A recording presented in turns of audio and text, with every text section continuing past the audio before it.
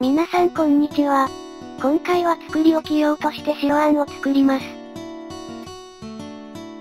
乾燥白あんに砂糖、水を加えてひたすら混ぜていきます。中火から弱火で30分以上根気よく混ぜてください。この時焦げないように注意してください。あとは特に説明はないです。のんびり見てください。ちなみにこの動画の硬さになるまでで25分くらいかかってます。根気よく練り上げていくとこのような硬さになっていきます。今回かかった時間ですが55分くらいでした。ここまでできたら完成になります。